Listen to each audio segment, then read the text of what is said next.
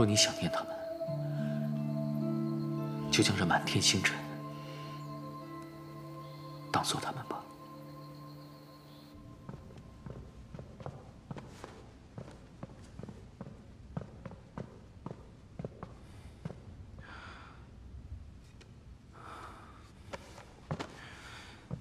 参见天王。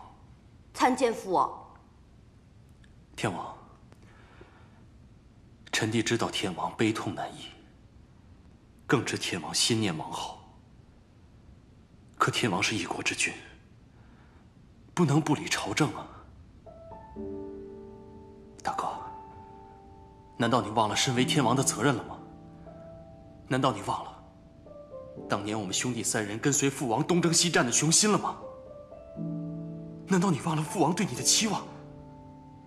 记得那次狩猎，父王夸三哥勇武，夸我沉着稳重，但其实有勇有谋的却是大哥你呀！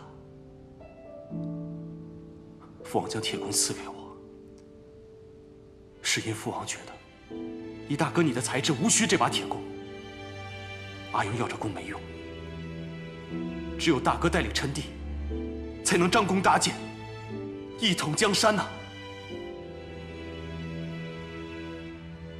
如今太子殿下亦渐渐长大，看见天王如此行事，你让他以后如何效仿？天王，臣弟恳请天王重振朝纲啊！父王，母后临终前嘱咐你，一定要做个名副其实的天王，儿臣也希望自己的父王是一个顶天立地之人。母后说。若任由宇文护独大下去，终有一日他会害死儿臣。父王，你忍心看见儿臣死在那个奸贼的手里吗？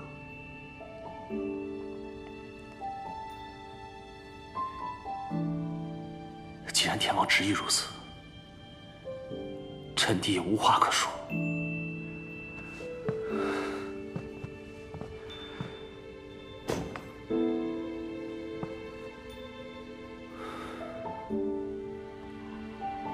唯愿天王还记得自己的身份。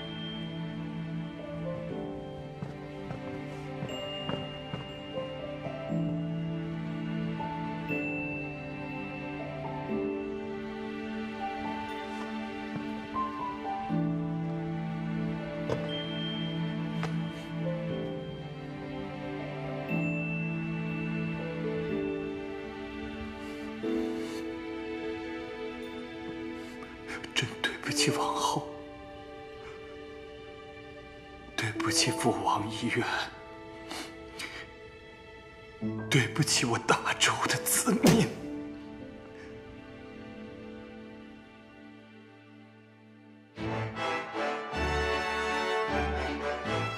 公元五百五十八年，周国大冢宰晋国公宇文护依旧全面掌控政权，王后离世。终唤醒了天王宇文毓的血性，他开始韬光养晦，表面仍为傀儡帝王，实则已开始准备一步步夺回属于自己的王权。他选择从最不易引起宇文护注意的文化做起。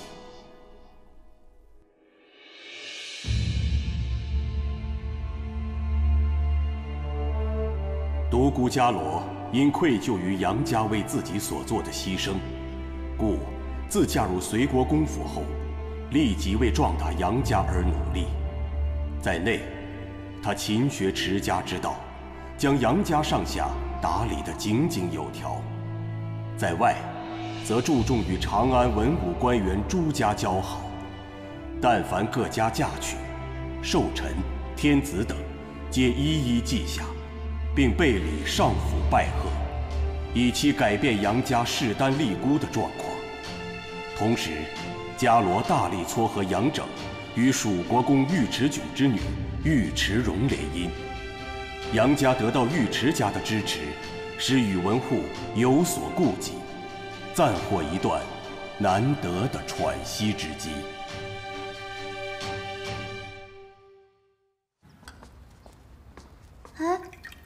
父亲，你们都在啊！公主，快过来坐。静书，去帮公主拿个垫子。谢二嫂好意，可我还是要坐在我家三郎身边。哼，你呀，还是与二哥好好坐着吧，是吧，三郎？珠儿，大家都在呢。这有什么呀？都是一家人，你爱我，我爱你，有什么好遮掩的？既然你不主动，那我主动便是。夫妻之间相敬如宾可不行，就该亲亲热热，是吧，二嫂？我与你二嫂啊，可学不来你们这样。我们俩怎么了？我们俩这样挺好的呀。